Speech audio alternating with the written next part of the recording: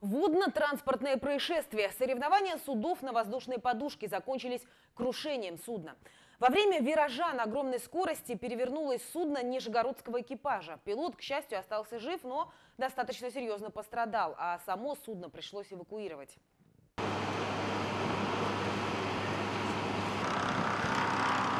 В ходе проведения соревнований перевернулось судно воздушной подушки, участник соревнований.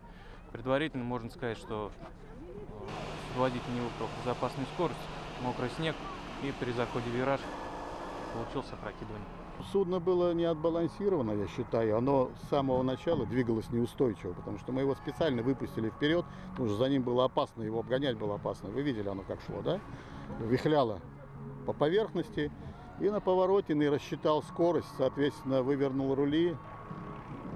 Ну и произошел еще, может быть, какое-то препятствие на снегу попалось, и произошел переворот.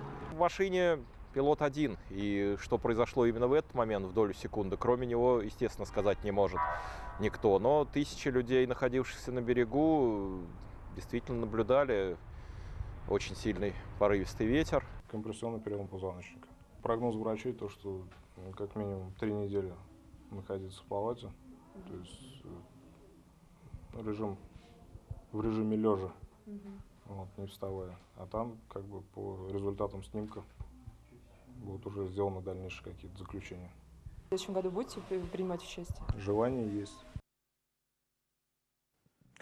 Пострадавшему пилоту сейчас ничто не угрожает, лишь требуется постельный режим в течение месяца.